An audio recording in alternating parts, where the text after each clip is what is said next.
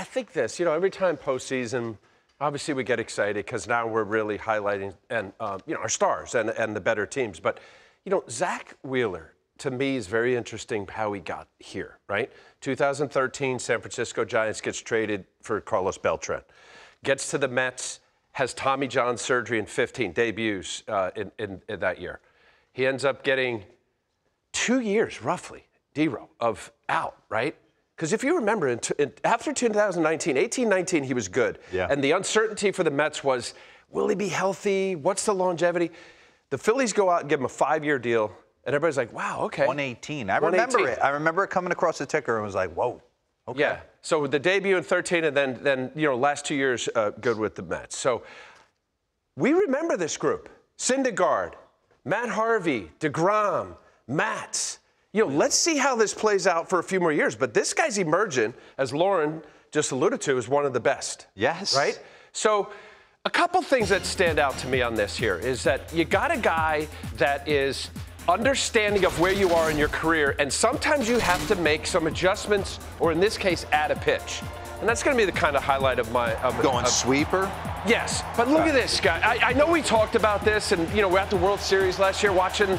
This is a great fan base. I know there's a lot of great fan bases around around major leagues, but this place is crazy. So he's feeling it, confident as he should be. I wanted to go to Luis Arraez first at bat. Ah. 98 mile an hour, cheese down and away. Hee ha! This guy's one of the best ah. hitters in the game. Missed God, that is not a ball.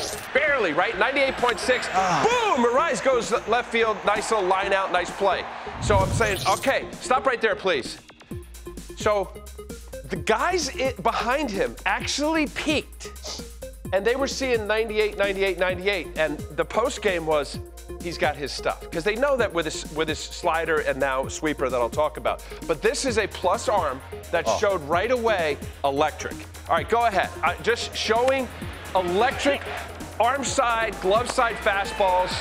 He took advantage of eventually an aggressive team, and I'll say young, inexperienced team, of, of, of pitching and getting ahead. I did, not a whole lot of sliders. Josh Bell ended up getting a couple hits in this game, but one of the uh, very few changeups almost there. like a cutter. Yes. All right, stop right here. So I want to, before we get going, through four innings, and we talk about this a lot as pitchers. What do you- Efficiency. what do you try to do if you're coaching your kid or the team? Strike one, Get ahead. get ahead, and how many outs can I get with three pitches or less? There's organizations that actually develop pitchers in the minor leagues and say, I don't care about innings, I don't care about strikeouts. How many of the batters you face you could go three pitches or less? So it eliminates basically strikeouts, right? Ugh. How about win the game and get out? You know what? There are some guys, for the most part, you want that. But if there's a guy that's nibbling and thinking that he's got a, the Hall of Fame pitch every time, seven of 14 batters he faced in four innings, three pitches or less. you talk about efficiency, Greg Maddux like stuff, that your, your old teammate. All right, go ahead. This is the pitch here. Caleb Cotham got to Zack Wheeler this spring and said, hey, look, you throw really hard, your curveball, your slider's really hard, occasional change.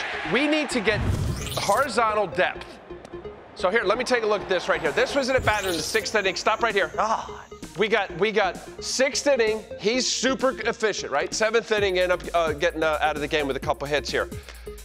Watch his sequence here uh, as he pitches to. Did you see the first pitch? 96 two seamer that moved four feet. Watch this. Keep going. Yeah. Run that. All right, so so down in the zone, actually got a strike there probably. Tunnel There's your sweeper. Well, Now, now watch through here. 0-1 sweeper miss. 1-1 sweeper miss. So that lower break it. Heater, good swing. How do you take that swing on there?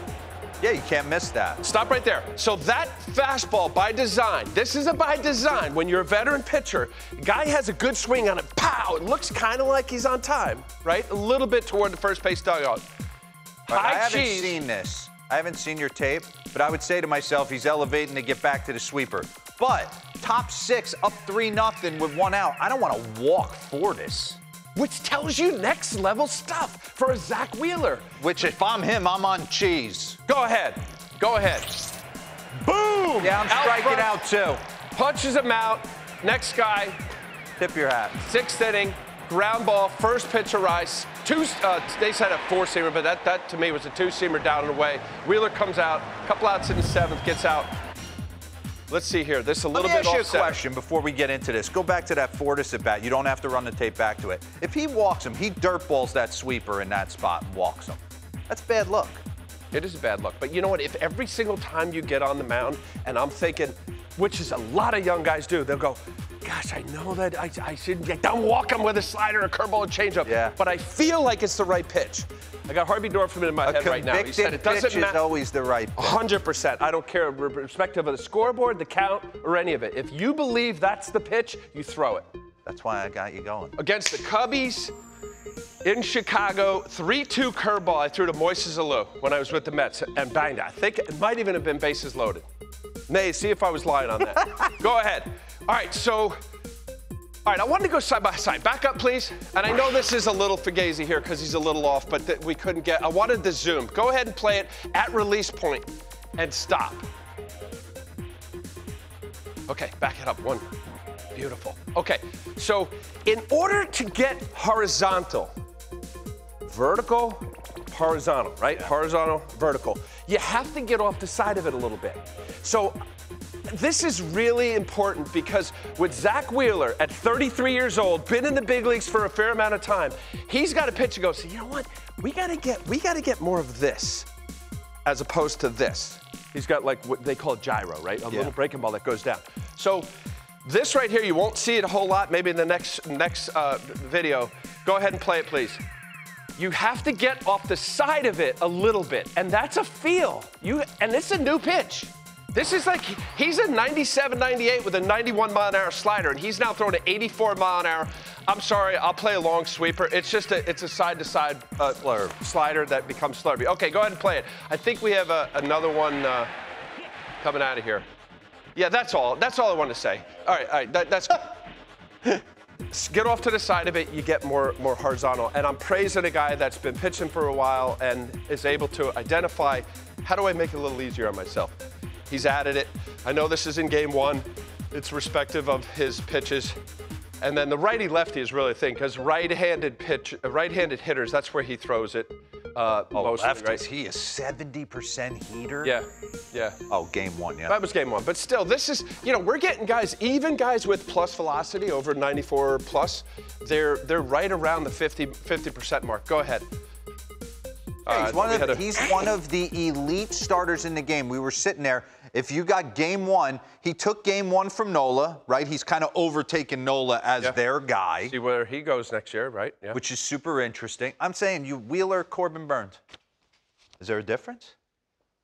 yeah, Corbin Burnes, his fastball cuts. I know there's a difference with, but I'm saying who do you want on the bump in a big spot?